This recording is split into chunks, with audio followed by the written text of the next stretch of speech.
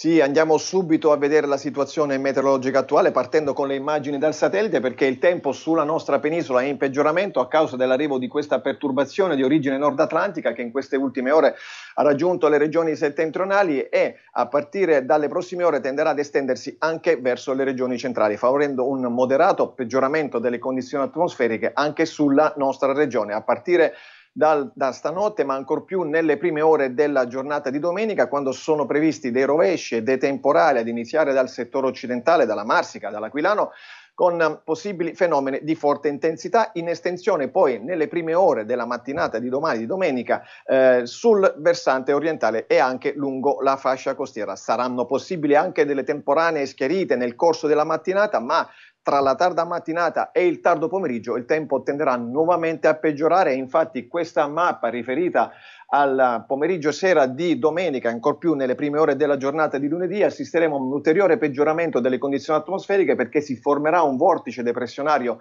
proprio sulle regioni centrali in lento spostamento verso eh, le regioni meridionali e questa situazione esporrà la nostra regione a delle correnti nord-orientali che determineranno un ulteriore peggioramento del tempo, precipitazioni diffuse tra domenica e lunedì anche di forte intensità. Non si escludono dei nubifragi e temperature in diminuzione. Tornerà la neve sui nostri rilievi. Inoltre, tra lunedì e martedì un nuovo impulso di aria fredda proveniente dall'Europa settentrionale raggiungerà la nostra penisola e favorirà una nuova diminuzione delle temperature, un abbassamento della quota neve intorno ai 1200-1400 metri e ancora rischio di nubifragi, soprattutto sul settore centro-orientale della nostra regione. Per questo aggiornamento è tutto, a te la linea.